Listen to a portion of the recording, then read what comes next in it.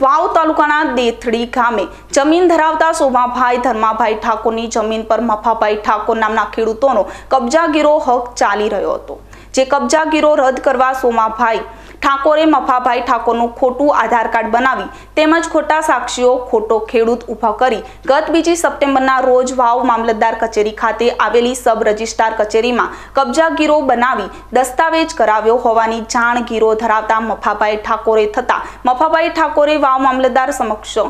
રજૂઆત કરી હતી.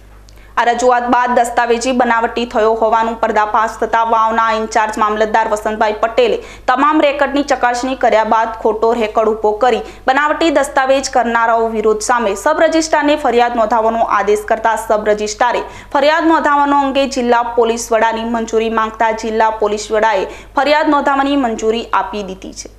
જે અંતર્ગત વાવ સબ રજિસ્ટ્રાર નવીન કુમાર માનાભાઈ ચૌધરીએ વાવ પોલીસ મથકે શોભાભાઈ ઠાકોર, ધર્માભાઈ ઠાકોર, ભરતભાઈ ઠાકોર તેમજ સાક્ષી તરીકે રહેલા પોપરજી ઠાકોર સામે પોલીસ ફરિયાદ નોંધાવી છે.